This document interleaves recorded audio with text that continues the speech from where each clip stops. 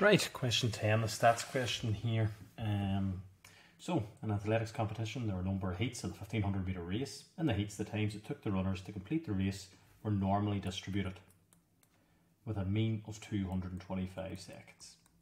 So that's my U, my mu, and a standard deviation of 12 seconds. Find the percentage of runners who took more than 240 seconds to run the race. So when it says percentage or probability, I'm thinking of the Z scores. So we're working out, or we're asked there, the percentage of my values to be more than 240. I must change this into a Z score, and I'm going to use my standardizing formula for that. So here it's 240 minus my 225 over the standard deviation of 12, 15 over 12, which gives me 5 over 4, or 1.25. So now, instead of saying x is bigger than 240, it's z is bigger than 1.25.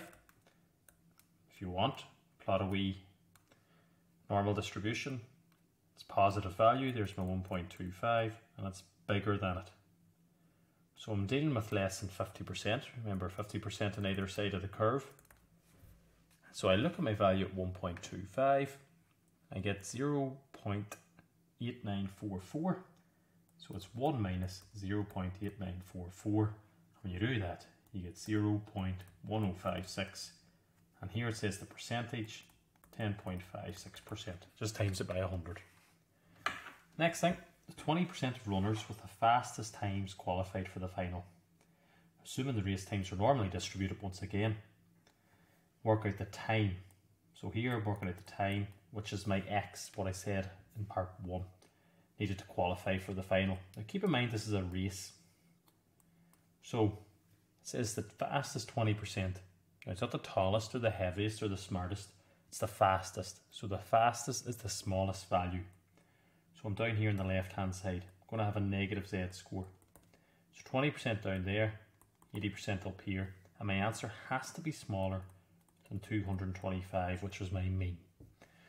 So I have to work out the time. And firstly, what I'm going to do using this picture is work out my Z score. So 80%, I have to look at what Z score corresponds to 80%. And when I look on page 36 and 37, I see that 80% is roughly 0 0.84. Now remember, it can't be a plus 0 0.84, otherwise I'm over here. Has to be a minus to give me that smaller value than the mean. Throw that then into my formula. I'm working out my x is still the same mean and still the same standard deviation because it's given in part A of the question. Cross multiply there.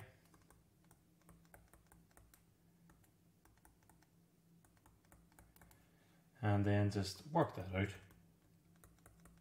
Bring it across maybe your 225.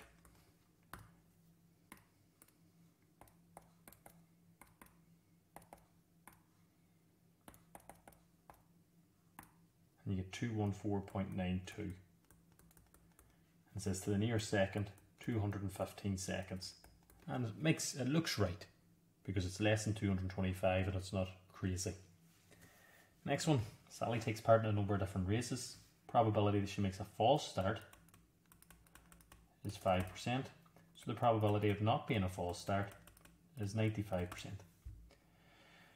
Find the probability that she makes her first false start on her fourth race. So what is she doing here? First race, not false start.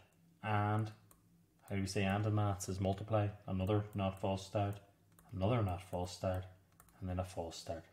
So we just times those together. Now you can use percentages, you can use it as a fraction, or you can use it as a decimal, whatever way you like. So I might just type it as a decimal, might be quicker. I'll be groovy, I'll go to the power of 3 times 0.05 and you get 0.0429.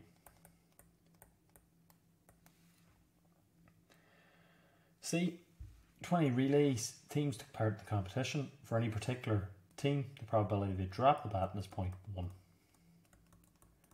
the probability not drop is 0.9. Find the probability that most two teams drop the baton. So this is my binomial distribution. And this is where I look at page 33 of my formula book.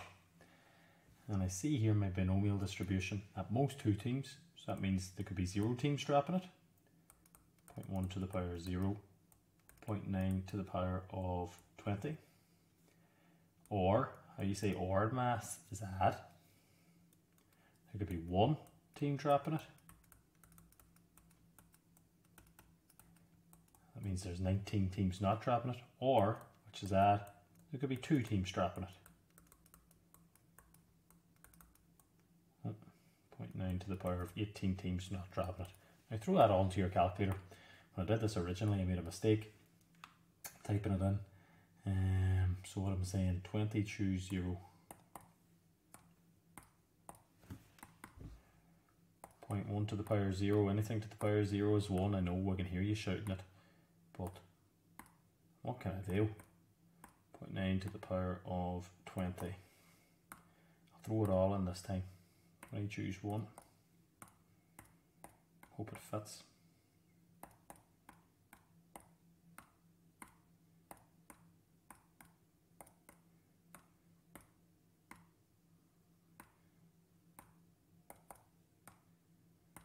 See if a syntax error comes up here.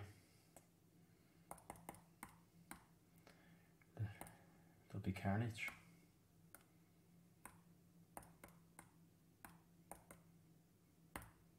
And you get 0 0.69 or 6769.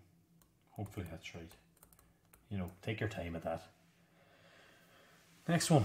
300 runners running a road race. Each runner has a number from 1 to 300 inclusive. No two runners have the same number. Two runners are picked at random from the race. Work out the probability that the sum of their numbers is 101. So what I can get there, I can get a 1 and a 100. Or you can get like 2 and a 99. Remember all the time this is OR. Or you can get a 3 and a 98, get a feel of the question, or you can get a 4 and a 97, and so on. But you'll see a pattern emerging, and the key one here is when you get to 50, and you'll get 51. Because if I go any further, it'll be 51 and 50, which is the same thing. So, realistically, there's 50 combinations here, or 50 um, times this will occur. So if I just work out the probability of one of these, so the probability of 1 is 1 out of 300 and multiply, say the number 100 is 1 out of 299. You could add them all up or I could simply times that there by 50.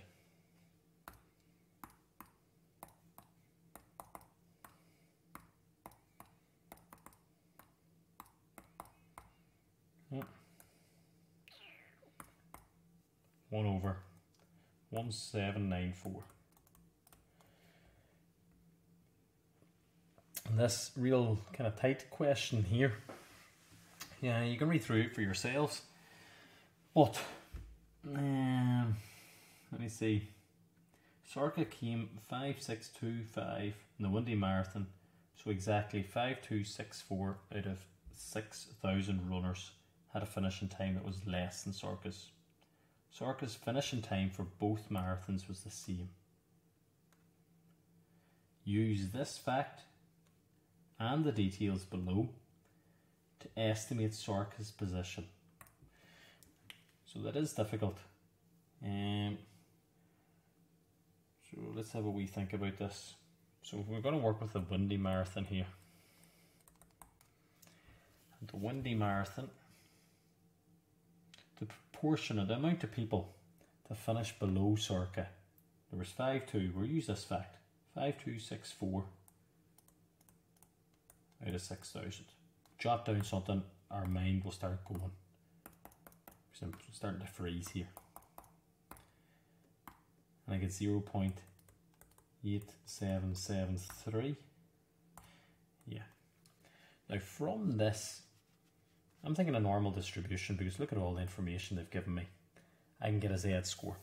I'm flicking back over to page 36, 37. So say there's my mean which is 254 minutes. 87.73% of the population has a time that's quicker to, than Sorcha. So I can work out the Z score from that by looking at what value Z gives me roughly 0.8773 and that answer is 1.16. So what I've got to do, that is 1.16 standard deviations from the mean. You know, 1.16 standard deviations from the mean. So to work out her time, all I've got to do is, there's my mean, 254, plus 1.16 standard deviations, which is 38. So 254 plus 1.16 times 38, and there's our time there, 298.08 minutes. Rather than seconds, you know, press that ABC button wherever it is. Set it there. But, ah, the watts. Use this fact. So that's her time, and it's going to be the same time now in the Sunny Marathon. She's run it in 298.08 minutes. Now, what are we trying to work out? We're trying to work out her position. So, we're nearly going to go in reverse or the opposite of that now. So we must see what Z score corresponds to the 298.08 minutes for this sunny race or the sunny marathon. So x minus mu over standard deviation. We know the x, which is 298.08, minus the mean, which is 247, over 29.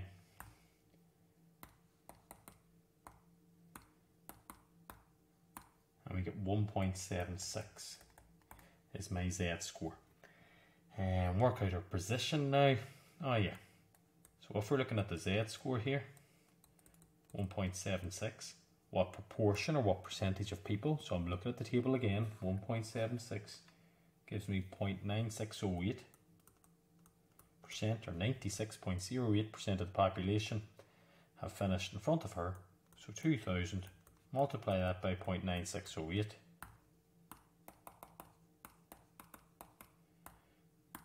1921.6 people finish in front of her. So that means she must come 1922 in her position